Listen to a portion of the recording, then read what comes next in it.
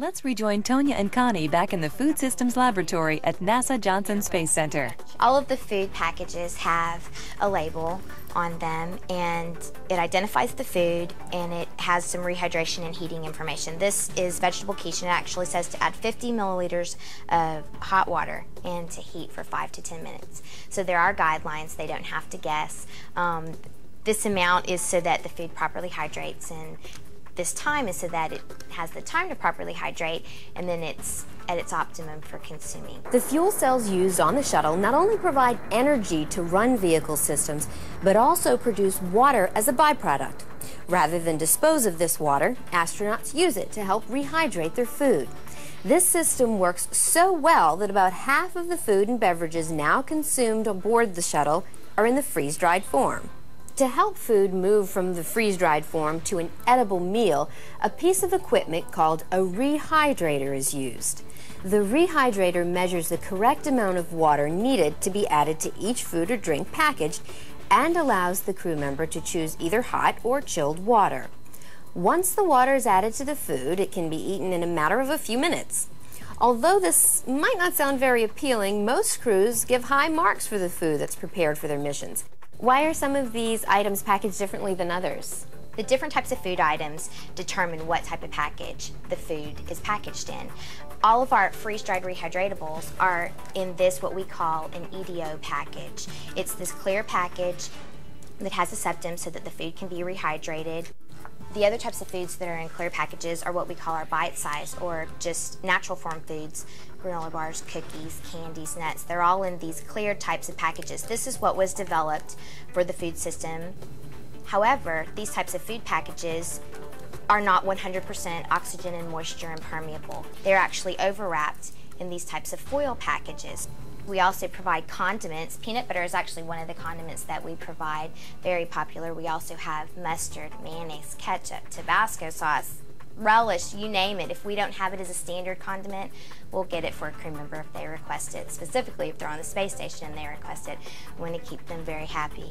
We also have salt and pepper, um, not your regular salt and pepper though, um, because if you had a regular salt and pepper shaker, it would go everywhere but the food and that would create a huge mess.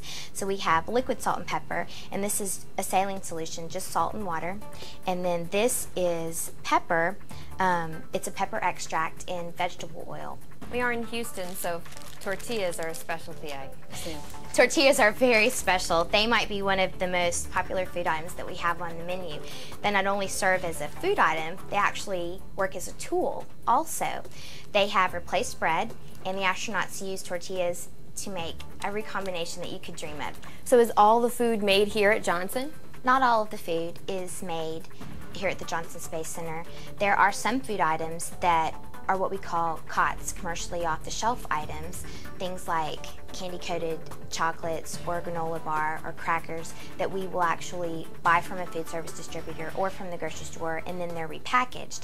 Those are food items that don't need to be developed specifically for spaceflight. We don't want to reinvent the wheel, so to speak. Do you put any special markings or anything on the packages so everybody knows whose food is whose? All of the food items are actually color coded. Each astronaut has a color that belongs to them. Right now, the station astronauts have red, yellow, and green dots, and so all they have to do is look on their food package, and in this corner of the label is a color dot. And so if you're red, you can look for your red food. Now, if it's regular menu food, you might not be so hurt if someone happens to eat your red carrot coins, but if it's bonus food that you've specifically picked out for yourself, you're not going to be so happy when someone eats something that has a red dot on it or came out of a box that had your name on it. Okay, some astronauts say that food actually tastes different once they get up there than what they've had down here when they were eating it. How do you compensate for that? That is true. Some astronauts do note that food tastes different in orbit as opposed to what it tastes like here on the ground. One of the reasons that that could happen is there is a fluid shift when astronauts are in microgravity. And so because of that fluid shift, it might actually lessen their taste and smell perception. Also, most of what, when you're eating, most of what you're tasting comes from actually from what you're smelling. So if there is that fluid shift, um, you might not be smelling as much, therefore not tasting things that um, may not appear to be as flavorful. But we do actually take some measures to compensate for that. we offer Tabasco sauce, we offer picante sauce and hot sauce, things to jazz it up, spice things up a little bit. Some astronauts' taste change from Earth to when they are in orbit. Someone says that they can't live without orange juice for breakfast, then when they get into space, they can't stand orange juice. There's not necessarily an explanation for it, it just sometimes happens. Or some astronauts don't particularly like something on the ground, and when they're up there, they can't get enough of it. When an astronaut's getting ready to go into orbit, how do they decide what they're going to eat? How do they pick the food and create a menu for themselves? The astronauts come to our lab and they actually go through a process called approbation, where they consume the menu the way it has been planned for them. So they will come to our lab and they will eat breakfast. They'll eat the entire entire breakfast that's planned for them. Then they'll eat lunch, and that gives them the opportunity to eat the food as they would in space and see how much they like it. Because when they're in our lab going through a food evaluation session, they're only eating one or two bites of each food item, and that's not a good indicator um, or a very good indicator of how well they like a food. When they come in and they sit down and they eat breakfast and they eat an entire serving of scrambled eggs or an entire serving of waffles, then they can say, yeah, I like it that much. I definitely want that on my menu or no way. Just a bite or two is enough. I'm not eating that. Or they might decide that they like something so much that they want it to repeat more than once on their menu. So that gives them the opportunity to taste everything again, give feedback before their menu is finalized because it is very important that the astronauts eat exactly what they want and they're never given something that they don't like. On early missions, shuttle crews were all given the exact same meal to eat. Although always nutritious, astronauts would sometimes be stuck with a food they didn't like.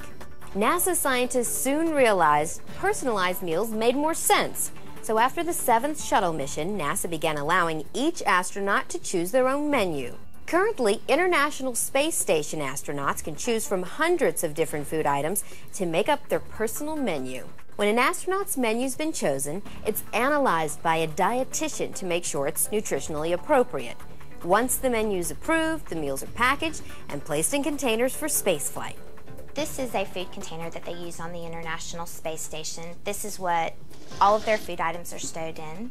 Um, it's labeled on three sides with labels. All of the American food that is on the space station has a blue label, and all of the Russian food containers have red labels and each label has a lot of information on it. It describes what kind of food container it is. We've broken foods down into different categories. This actually is a meat and entrees container. It has a container number, so for inventory tracking purposes, we have that. Barcode also serves for that purpose. A big number nine that shows what ISS expedition crew um, gets this container. So when they're unloading and moving around containers because space is at a premium on the space station. It's a lot easy to identify your missions increment number, and of course, bilingual labels, so we have things in Cyrillic. Food items are stowed in these containers very efficiently. Um, every bit of the space is utilized. And what's unique about these containers is they're actually collapsible. These pins remove from these containers and these walls collapse. So it encourages the crew members to break these containers down. They're actually recyclable containers.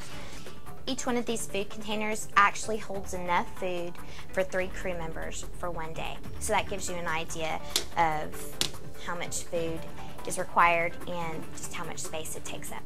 With feedback from the crews, the food being processed for space is moving even closer to being as Earth-like as possible. The most requested food item for astronauts in space is shrimp cocktail. Some other favorites include steak, lemonade, and brownies.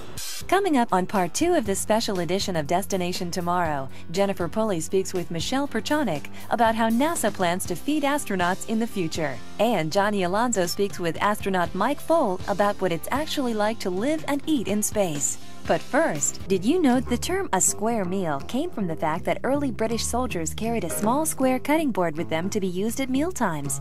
When a soldier had enough food to cover the cutting board, he had a square meal.